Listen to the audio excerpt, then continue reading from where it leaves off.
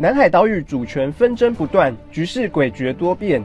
美国南加大美中学院特别举办南海争议研讨会，冲突根源与化解之道，广邀美中学者参与讨论。美国现在在呃东南亚呃推行所谓的呃再平衡的一个一个政策，但是这个再平衡的政策却以耀武扬威的方式来挑战国际法，这是美国最不智的地方。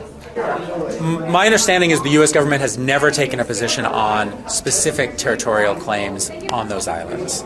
So I don't believe there's an official position by the United States about any of those islands, whether they're owned by China, Vietnam, Philippines, whoever, Taiwan. 傅昆城也对日前马英九总统登太平岛一事表达正面看法。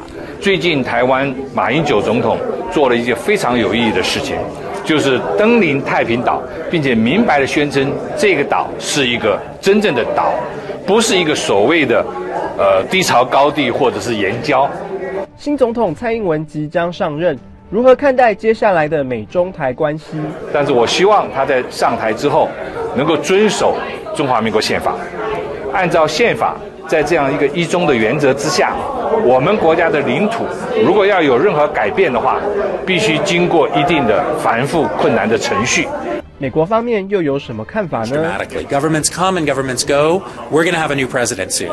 Um, I don't think that's going to fundamentally change, uh, at a deep sense, the nature of that relationship. It's a complex relationship. I think we have a lot of areas of uh, common interest, and of course, we have some tensions. We're two very important powers